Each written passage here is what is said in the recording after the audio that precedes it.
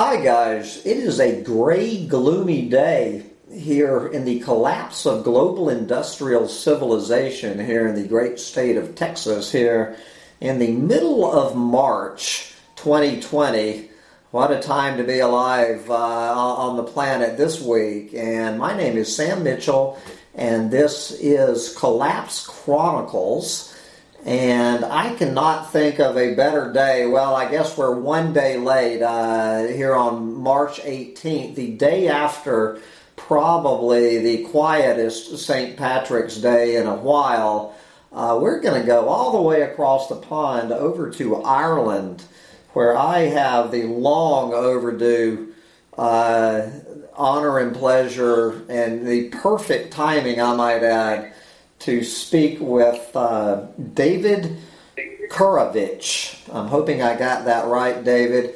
For those of you who are not familiar with David, I just read uh, an essay of his that we're going to be diving into uh, a few days ago. But more than that, David Korowicz is Director of Risk and Response at the Geneva Global Initiative his work is aimed at encouraging and supporting large scale preparedness and contingency planning for intensifying large scale systemic risks. He argues we are on the cusp of an inevitable major social societal transformation that will largely outrun our capacity to manage or control. The implications will be prolonged and severe.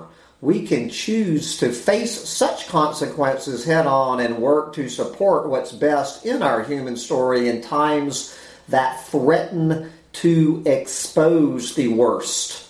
Understanding, anticipation, and preparedness is part of this. And part of what uh, David has a long history of is, uh, is looking at global pandemics among other things. David has been a pioneer in drawing upon ideas from fields such as ecology, complexity, and systems science to shed light on emergent risks, vulnerabilities, and uncertainties. He has written influential studies on the financial and socioeconomic implications of a peak in global oil production, the propagation of financial and monetary shocks through trade networks and critical infrastructures, and do not forget pandemic shocks and the limits to growth. So there you go. So David, come on and say hello to the folks, and we're going to dive right in to this rousing conversation. Delighted to be with you, Sam, and uh, indeed all the listeners. Okay, obviously, uh, David, I, I just finished a paper that David wrote several years ago about uh, pretty much predicting what it would look like. Uh, not, I guess not if, but when a global pandemic was to come blowing through our global industrial society. I, I must say, uh, David, that was that was the most prophetic paper I have written going into an uh, that I have read going into an interview. So, like I've been doing all week, guys, we're going to start off with this question. Then I'm going to leave my outline behind, and we're just going to let David uh, take us take us down the trail of where coronavirus is leading us. But we're going to start out with this overall question to start off this conversation. So, David, in your opinion, could coronavirus be the trigger for the beginning of the end of global industrial civilization, and why or why not? Well, I think the first thing I'd say is I don't know if it is. Um, but I think if you take a little step back and say, what is the context, firstly, in which the coronavirus is impacting the world? Well, it's a context in which our societies have become, as they become ever more tightly bound together and interdependent and high speed and connected. We're really part of a global organism. And that, in a sense, shows in one, why we are vulnerable. And we can come back to that in a moment. And the second thing is that is already stressed. So we have a situation where we have a huge amount of uh, indebtedness globally. And this that is already a vulnerability. And of course, the implications of the coronavirus on society is compounding that vulnerability or that that stress. Uh, okay, David, I, I, I, need to interrupt. I'm, I'm, sorry, I need to interrupt you just a minute. We are still getting this uh, this this sound interference. It's not ruining everything, but maybe if you could just back off the computer microphone just a couple sure. of feet and see how. How about that? How about this? Uh, okay, let's let's try this because I really want people to understand uh, every word you're saying here. Okay, keep on. Okay, so one is we're already vulnerable, and that's part of the structure of society, how we live, why there's food in the supermarkets, the lights are on, there is work, we have money, all of these things that we take for granted, and we take them for granted because it's been so stable, it works. Um, but it's been recognised increasingly now, and certainly uh, in these recent months, that this structure, this system, can be vulnerable in certain situations. And the other thing I mentioned is it's already stress with indebtedness, within polarization within countries and between countries. So that sort of collective action or will is harder to muster, both to deal with a crisis and to potentially say how we might respond to a future crisis. So that is a context in which it's happening. Um, and how big will the shock be from the coronavirus? Well, there's an inherent uncertainty. The first uncertainty is how long that stays around, and it's it just purely on those impacted directly in terms of health and those who uh, are impacted, the impact on uh, society from the shutdowns and lockdowns and all of the other things. Um, so it could be, I mean, we, we've seen people talking of peaks falling and rising within a few months, but there's plenty of opportunity for these sort of things to go on for a long time. So there might be outbreaks here and new outbreaks here and there.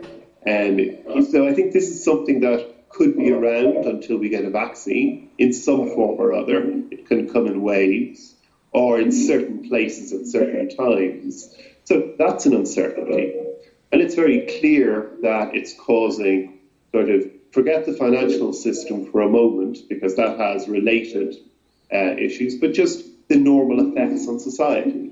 It is uh, people are attracting from work, people are distancing themselves. So, whole parts of the service industries, which are very important for economies, especially developed economies around the world, they're effectively stopped.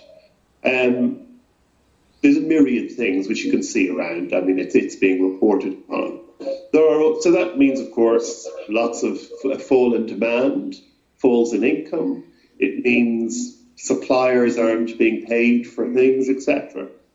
So there's a huge demand shock. You know, so we, we, we want less, partially because we can't access things. But that's going to evolve in the coming weeks and months into a further demand constraint why? Well, then, because people won't have money and businesses may not have money because they may have become bankrupt or whatever. So there's a big demand shock. There's a supply shock.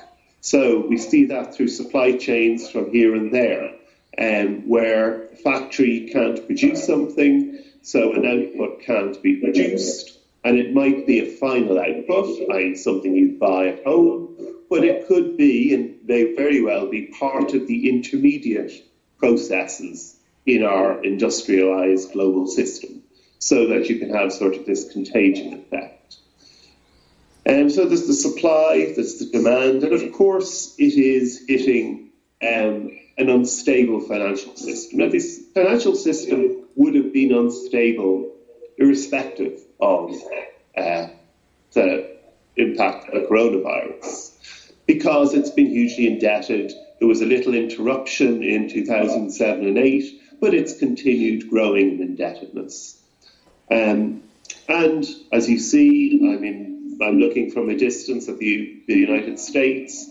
Clearly, there are political problems in responding promptly and efficiently to this crisis.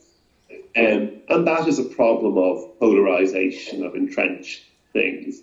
And, you know, that's not fault of the coronavirus, the impacts, but what that did is it exposed those sort of vulnerabilities that were building there already. So when we when we see this sort of plus, so we, we see these multiple effects, which is pretty extraordinary. It's not like a credit crisis that we had in 2008.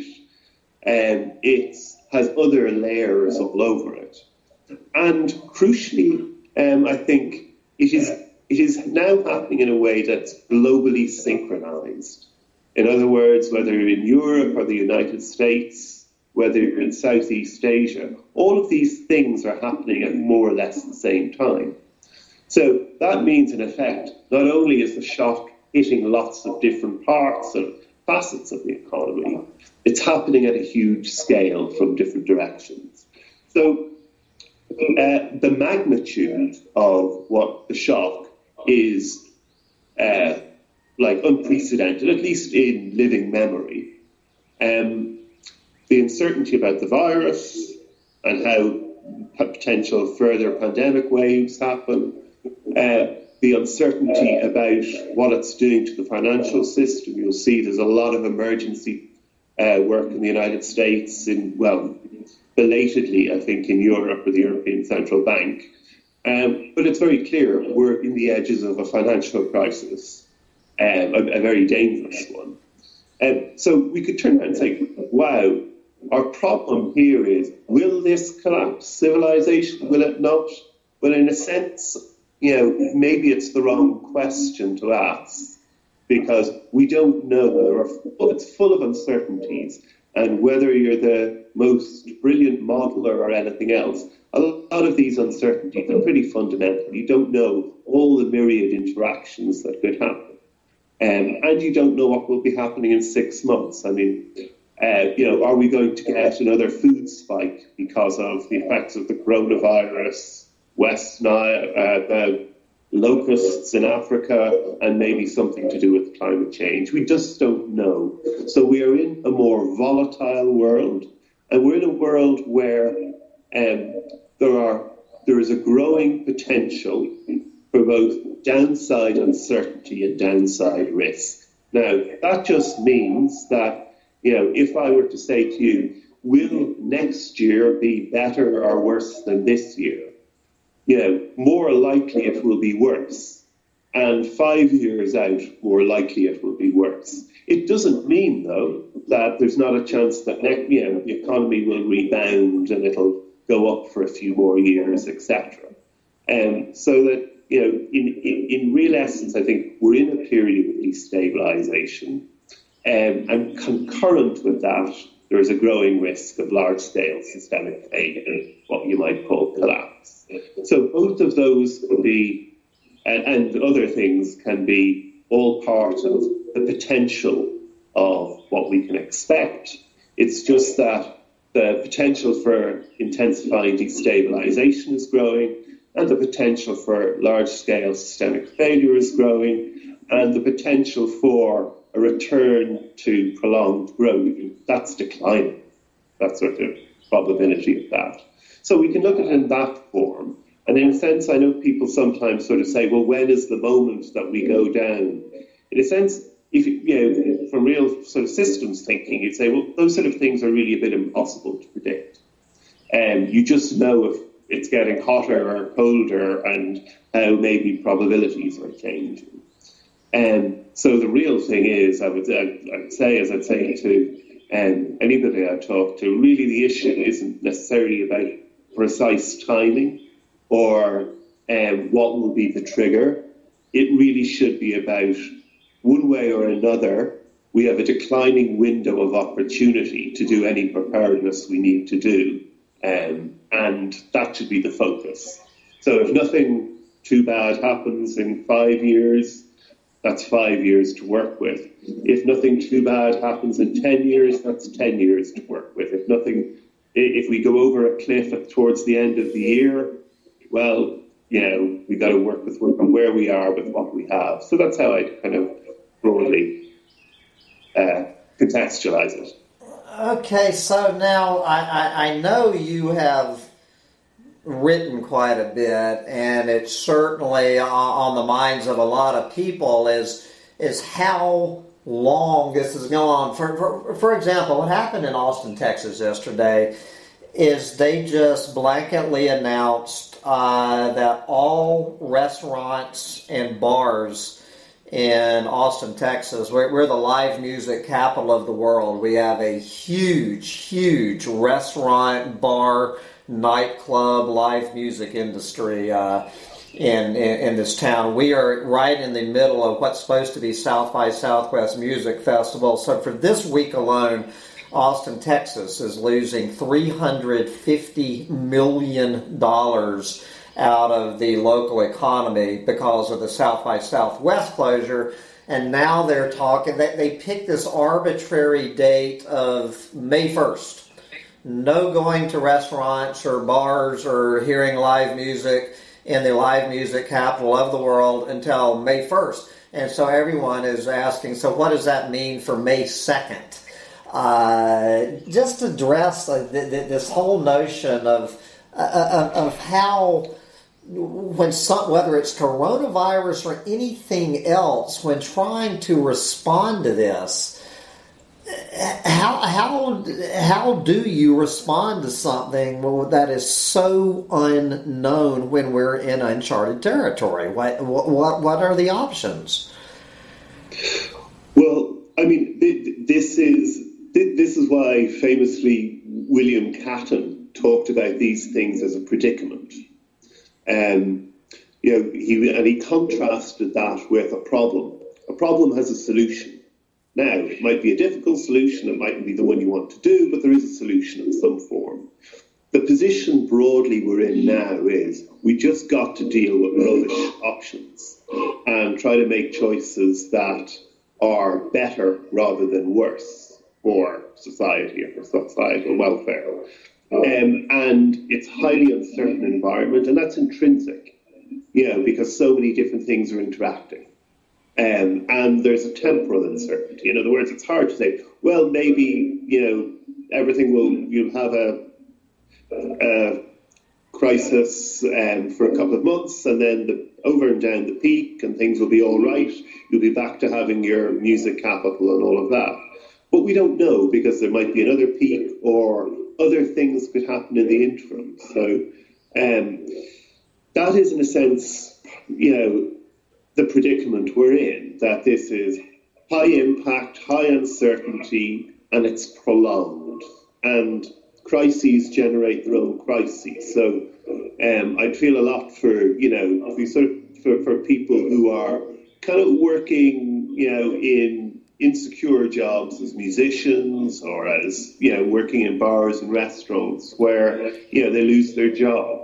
They're not the most necessarily the highest paid jobs. So, and we also know that a large percentage of people in the United States really have a very small cushion um, of for loss of earnings. I heard something like, you know, um, a majority of Americans couldn't don't have more than something like four hundred dollars in savings. Um, so, if something does not get to uh, come back to that. If money doesn't get to a huge part of the US population, um, pretty soon, uh, there will be huge impacts because a large number of people will start to be unable to start paying for food, for rent, and that will sort of ripple through all sorts of things. Now, I know that they're talking about the Federal Reserve. Effectively, it you've probably heard the phrase helicopter money. So putting money in everybody's account. Um, and that would be a powerful and useful thing to do at this moment. Um, but it's not the it, it, it, it deals with a crisis of the moment and part of the problem, but it doesn't deal with all the economic impacts. So, in other words, you know, you can give lots of people a thousand, two thousand dollars, um, but if they're all staying at home and social distancing, they might spend it a little bit at the supermarket, but you know they're not going to be spending as much one way or another, and that's you're not going to be out shopping or going buying clothes and all of the normal things uh, that would enable money to circulate. So, you know, that's one type of risk. You try and address that, but the, the real thing is it's a much broader predicament. There's lots of things happening, um, and if I were, which I'm doing a little bit at the moment, if I if you'd say, well, how do you deal with this? How do you plan all of this? Well, in one sense, governments do have plans. Now, for most governments, those plans will have been things written by a bunch of civil servants and put up in shelves saying, in case of pandemic, pull this out. And it gives instructions. But we don't know if it's how often it's been exercised, meaning they've run through uh, in a, some sort of scenario of what they would do and get a sense of it. Um, but you know that's pulled out, and there's what to do. But this, these sort of things are, you know, real life is always more different than anything you can ever exercise or plan for. It brings its own contingencies or surprises, and particularly this, you know, because we live in such a complex networked world, because it's interacting with global indebtedness and uh, an oil price war and all of these other things, and um, there's a huge amount of uncertainties. So if you were to be, if, if, if you were like me to sort of say, we should take more, pay more attention to downside risks, and generally I might refer those to deepening destabilization, number one, which is basically uh, unemployment rises, uh, the growth starts uh, slowing down, and there are more shocks, and wealth and infrastructure is declining, etc., etc. Um, and that would be for a period, and that would lead to, at some point, some sort of systemic failure because it becomes so frazzled it can no longer hold itself together, and boom, it loses its uh, coherence and structure.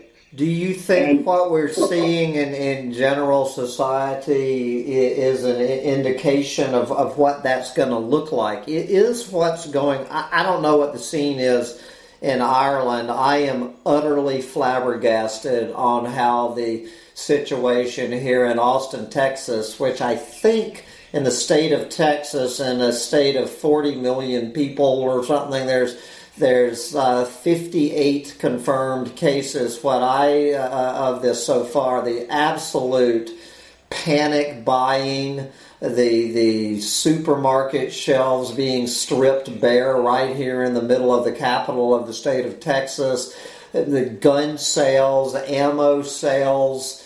Uh, based on what some people might consider uh, in and of itself a fairly small uh, shock to to the whole system.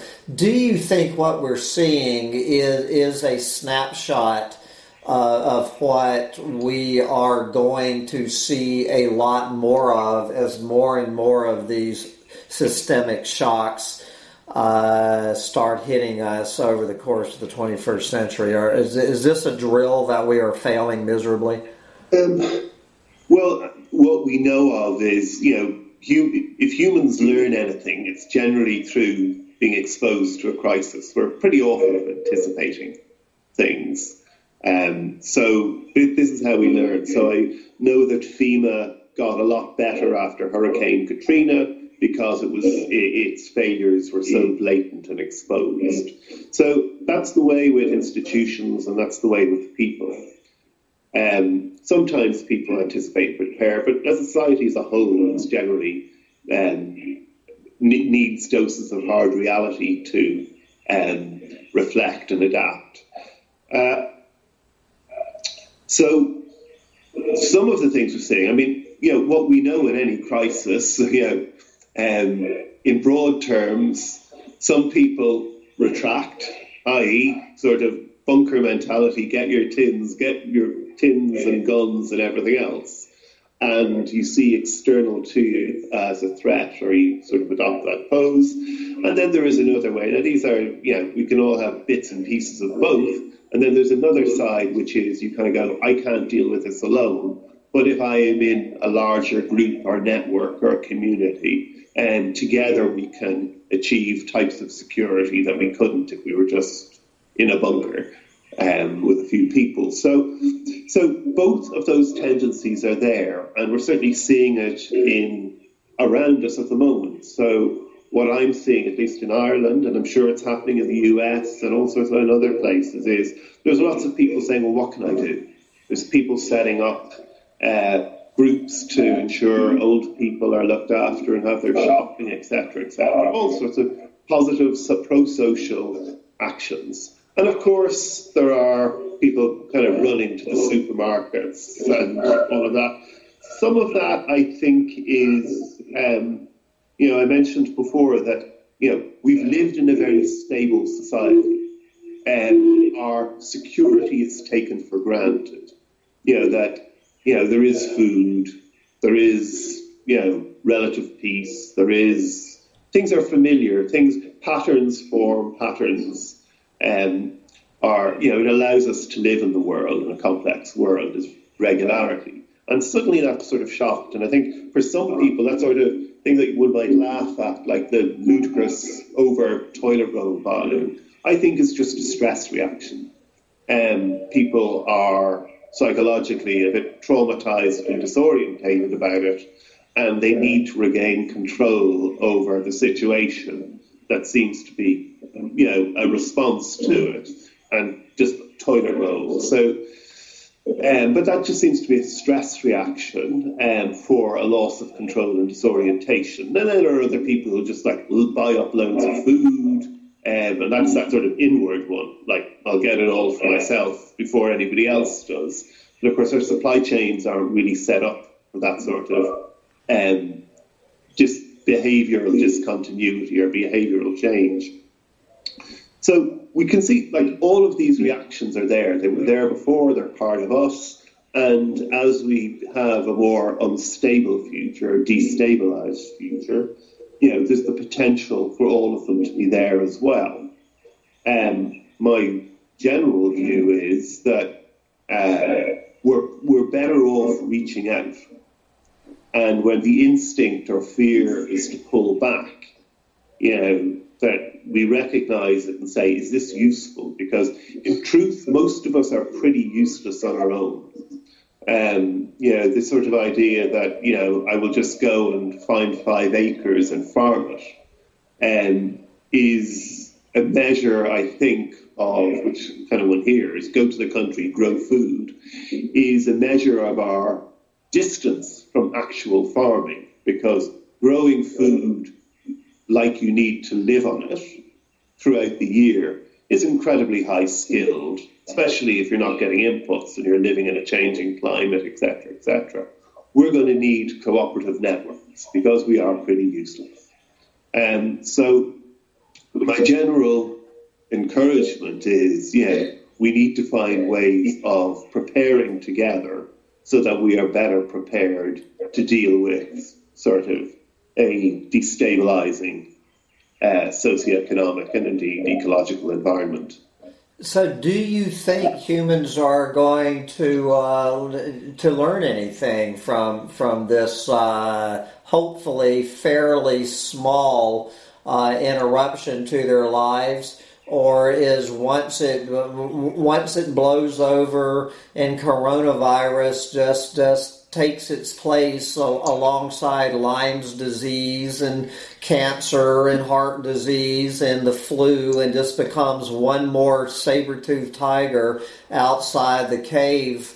Uh, are we going to learn anything from this? Are we are we just going to go right back to to doing everything wrong, uh, which is only going to get us back to a, something worse than coronavirus. Well, are you, are you going to try to second guess uh, whether humanity is going to learn a lesson from this? Well. I, I, think, as I said, the first thing is I think we've already slipping into an age of destabilization. So I think this will be a big psychological shock in all sorts of ways for people.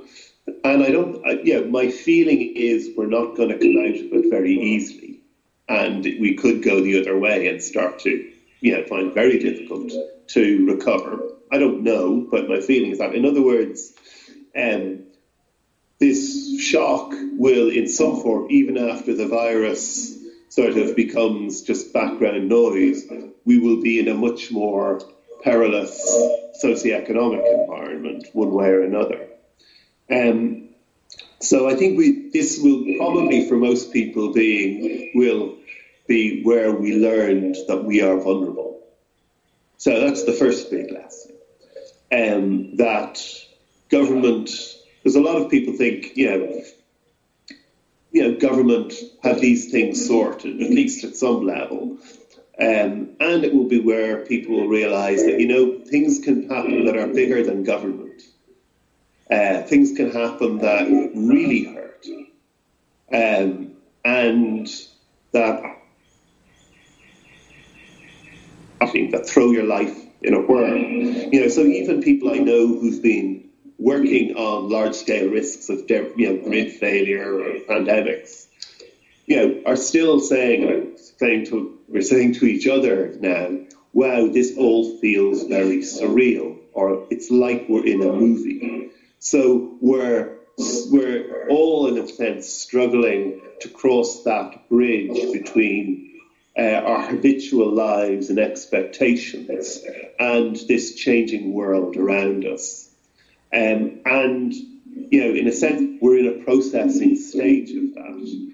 But we're also so how we whatever we take from this some people are hopefully will take the stories of how people cooperated and worked together and uh, were able to create things in rapid time. Um, others, it'll probably make them go, oh my, you know, oh my, I better, um, yeah, prepare for much worse and retreat into themselves. So these things will be there. I think, uh, and we really don't know. There are so many, cons- you know, so many potential consequences. But um, I think it will expose our failure to be prepared. And that is true, I think, in the United States, it's true in Ireland, and in ev- virtually every other country, because these are risks that were well known. I mean, people have been w- warning about pandemics for a long time. Uh, people run exercises people, you know, or you know, there's big, relatively big funding going into, um, you know, getting countries to prepare. But of course, it's always been a difficult one as well. So when uh, when there was Ebola or SARS, government said, "Oh, you know, this is really important. We've got to put money into preparing for this." And um, you know, and while it's in the media, governments pledge money to put more into general academic or pandemic preparedness. And then, of course, it dies down. SARS dies down, and everybody sort of forgets the pledges they made, and we all go back to our normalcy, normal world. So this is exposing, firstly, that bad things really do happen, and often we're warned about them. It's not that they're obscure, that they come out of nowhere, but we haven't prepared properly. And it also shows that governments and societies can be totally disorientated. Things can happen that is beyond their capacity to manage. So we often assume somebody will manage things, and this can be overwhelming. Now, I think out of that, you get this picture of, well, what would you do? And there, I think part of it will have to be, if it's to be more functional, is that we use this crisis to say, is there something we can do now that would make us better able to deal with bigger crises in the future? and part of that, to my mind, is a whole of society preparedness approach, where um, you know the rescuing or the retrieval of a situation or the dealing with the shock is we don't we don't assume government, federal or state or regional government is where the responsibility lies. In other words, there is a crisis, we do a few things, and then in come the professionals, fix the problem, or hopefully fix the problem, um, and depart, and life goes on. Rather, we see it as, you know what, all citizens have a role in making their communities, their lives, their cities more resilient um, and you know better able to, uh, as citizens, respond to crises because there may be situations where um, you know government just is overwhelmed, and I think that's the case will be the case um, in the coming months.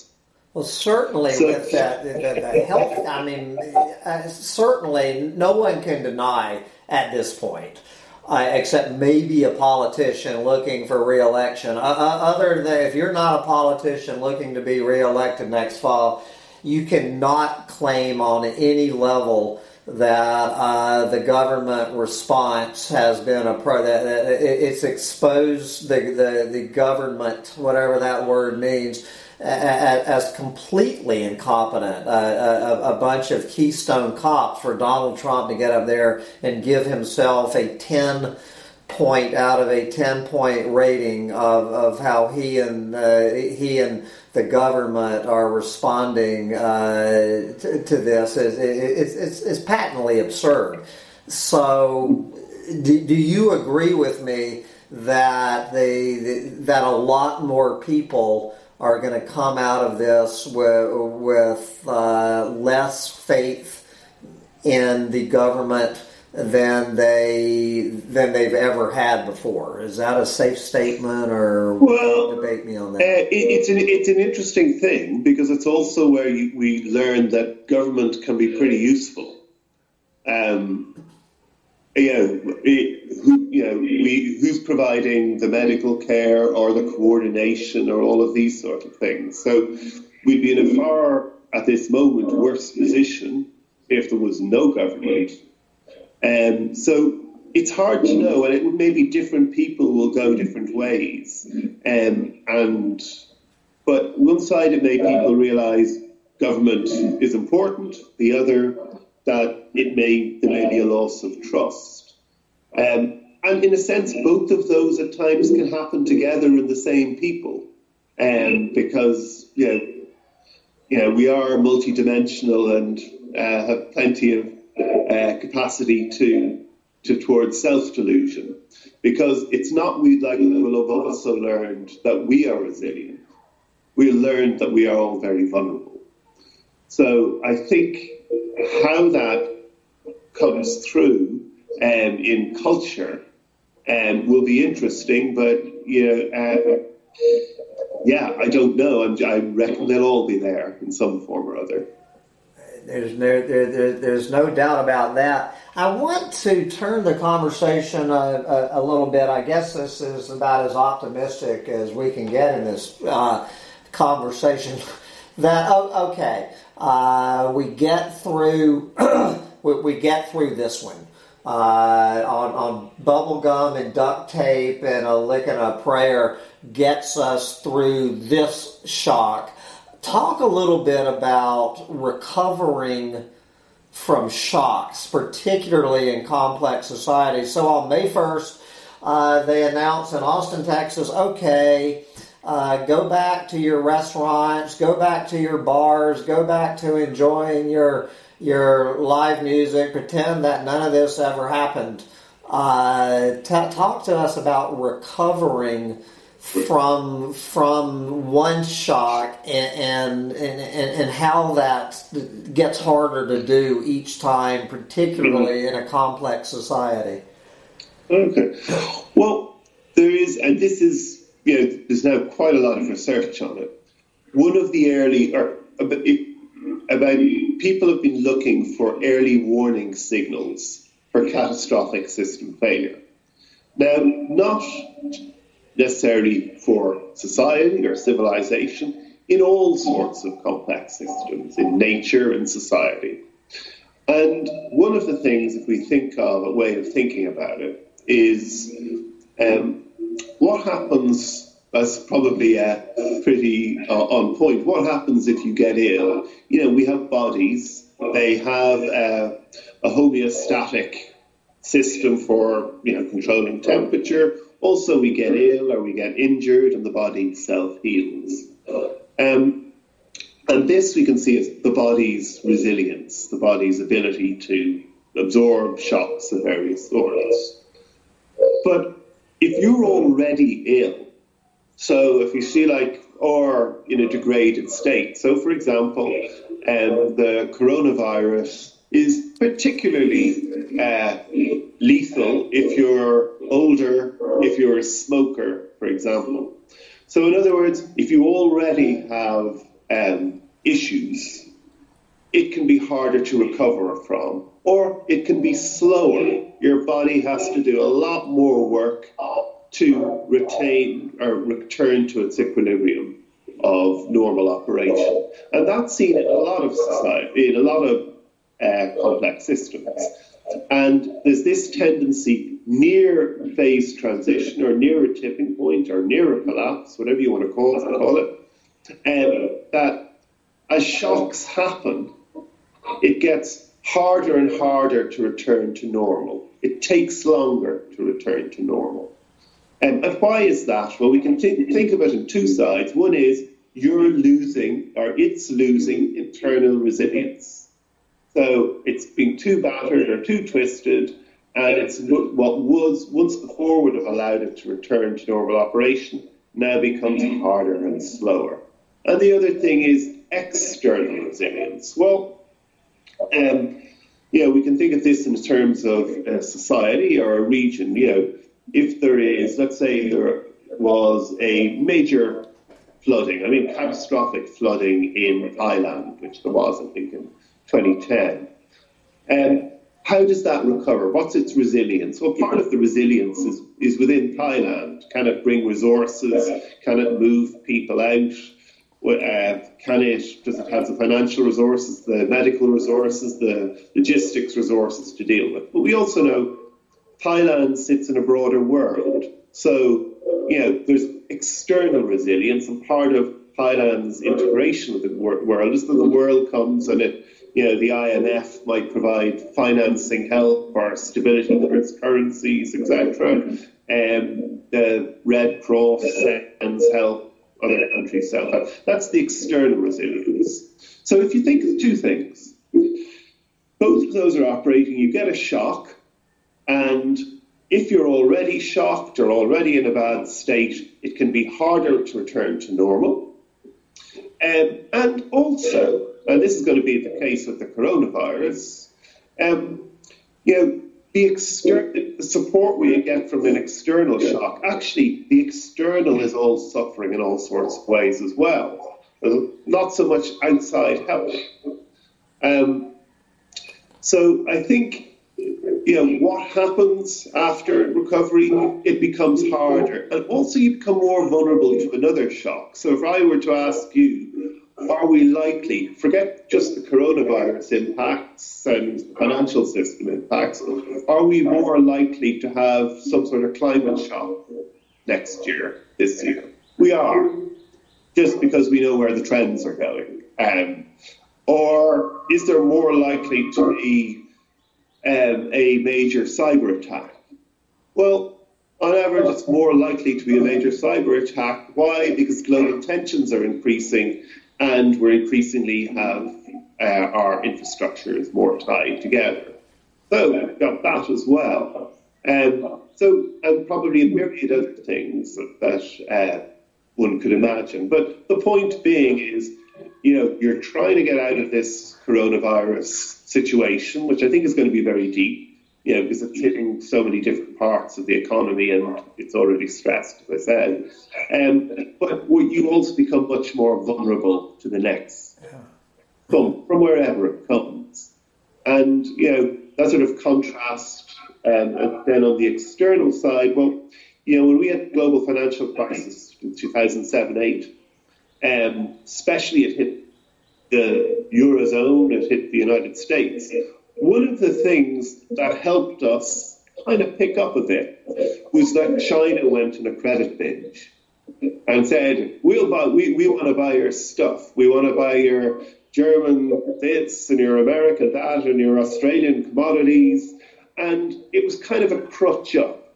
Just gave that bit of a hand um, to help recover. That's part of the external resilience. We don't have that so much anymore. So, if something, uh, th- this is not a good time for another for another uh, shock to hit. It's not, but it's more likely to. Yeah, that, that, that, that's all we that's all we need right now, David. Is uh, well, you know, so we're going into the summer of 2020. Uh, I'm hearing a little bit of whispers about uh, about El Nino. I mean, this could be these, you know, as soon while we're still dealing with this or just starting to recover from this then we have one, one of these killer heat waves. Uh, you know, as soon as our healthcare system is crawling out of this hole and and hasn't put itself back together again, then then then we get a, a, a killer heat wave. Uh, slamming into Europe or the or the southern U.S. or whatever, and, and so it would we would be less is it safe to say if a killer heat wave is to hit here in the summer of 2020 because of coronavirus, we are going to be even less able to respond to it than we would be w- without coronavirus? I mean, that's obvious, right? Yeah, uh, it's in all sorts of ways. So, um, know, if there's still part of the United States preparedness and emergency capacity is dealing with the direct and indirect consequences of coronavirus, and then you've got vast fires or heat waves, know, that is another, you know, pull on those resources. It also affects, you know, uh, the, yeah, people's standard of living, people's, know, and we also know that, you know, we saw the fires in California and oh. Australia. They were both threatened critical infrastructure, which creates these big uncertainties. In other words, if a fire starts messing with, so you've got to turn off the grid, you suddenly double or triple or whatever, mul- multiply the impact. And the border between whether it hits the grid or takes down the grid or not is a pretty narrow one. It might be to do with the terrain or the speed of the firefighters or the, the breakers, etc. So they sort of we live in a world that is yeah much more uncertainty. So and you know adding one crisis, especially if it has some sort of cascading effect on the top of another crisis, um, can just be uh, too much. And especially even if you think of things like financial system. The financial system, yeah, it, it's a bubble. Uh, there's massive over indebtedness. One way or another, something was going to prick it. It looks like the coronavirus is start and the fall in oil prices um, are starting to do the job. Um, but you know, if it, if there are repeated shocks, people will start to be even more fearful of the financial system, or we'll just say we're going. If if the view starts to spread, we're going down.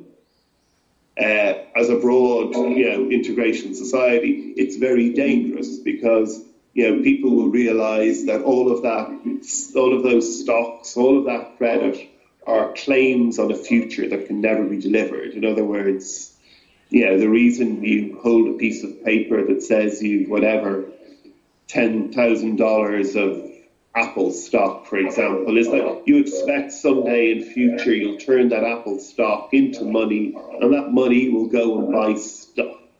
And um, so it's if there's an expectation of uh, global coherence, economic organization into the future, and if people start really believing that, well, what we're seeing is the fragmentation and breakup of that socioeconomic organisation and the confidence that all of the credit system, all of things like clay paper claims uh, may just vanish can start to, to generate this sort of fear and herd behaviour that can indeed cause start to cause the collapse of the financial system.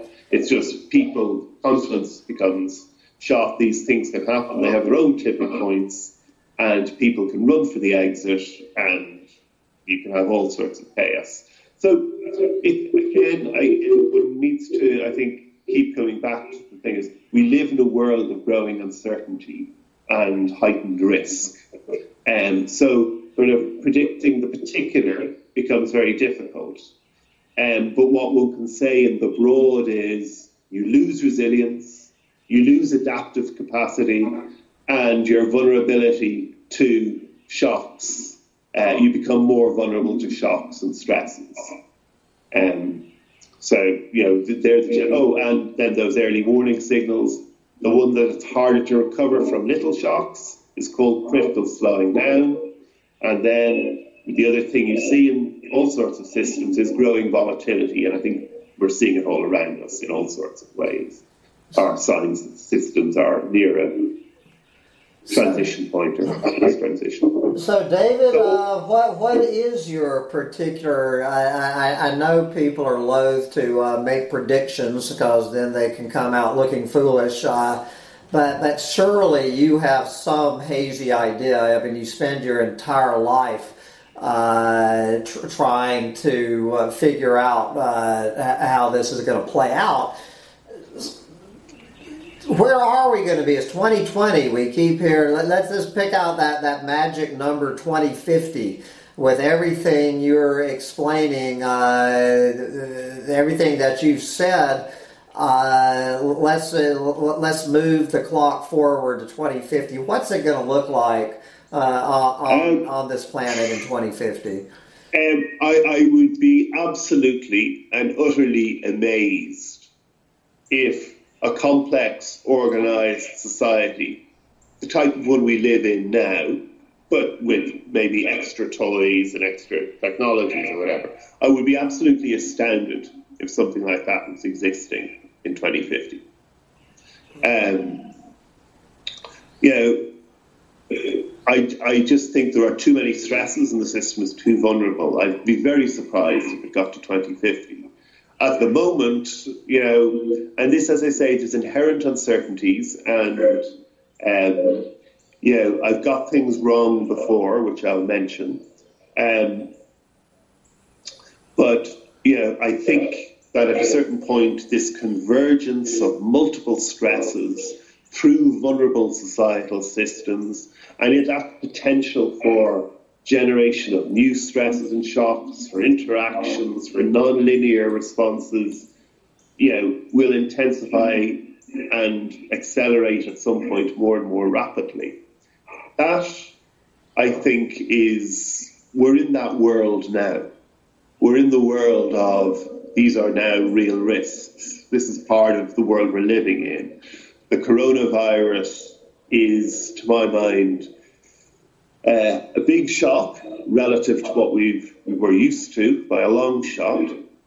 But, you know, one way or another, we were in trouble anyway. So, you know, whether it was coronavirus, whether somebody decided to take down half of the US grid, whether it was severe heat waves causing revolutions left, right, and centre, and et cetera, et cetera. All of these things, we're in this world now anyway. So, um, I think we have, and from the signs of like uh, critical slowing down, growing volatility, etc., etc., we say we're, we're, we're getting nearer and nearer a tipping point uh, where the system may collapse. And um, there's, so there's all, I would, all, I would, say is um, the risk is growing, um, and as my focus is, we need to be prepared. And um, to a certain point, I say we don't really have to know exactly the whens, the, the whens and why fors. We just have to think of well, how do we do preparedness? So, and obviously, you see bigger risk than the coronavirus on the near term horizon. Is that safe to say that this is not the last one of these we're going to see? Um, you see, in a way, I don't know because I have a feeling, you know, the, the, economic impact of this coronavirus, I think, will be more than most people think, um, considerably more. Um, so that's one side. Uh, I also would sort of say, well, you know, what causes a collapse of any system in the end? Is it X or Y? Well, generally, it's the system was vulnerable already in some way or another, and it could be a mixture of X, Y, Z, etc. So, know, our societal we are vulnerable as a society because of how we live, the complex interdependencies we will already have a major stressor in the financial system, which, if it really broke down, would be globally catastrophic. That will probably be ultimately the driver of large scale global collapse, or at least will be an integral part of it. Um, so it's vulnerable. Now the coronavirus is affecting all through the economy and the financial system. So it could indeed be the thing that sort of sets off a cycle of destabilization and then a tipping point and then collapse. Um, or it could just be part of more of the destabilization. So, you know, I'm being, I'm being, I'm, I'm not pinning anything particular on it because I don't think that's really how complex systems work. Um, you know, and it's, it, it is one of those examples like if a system is really vulnerable, you know, it could be a pretty small thing that tips it over the edge. You know, it, because it's so vulnerable, something that we would barely have even noticed at another time.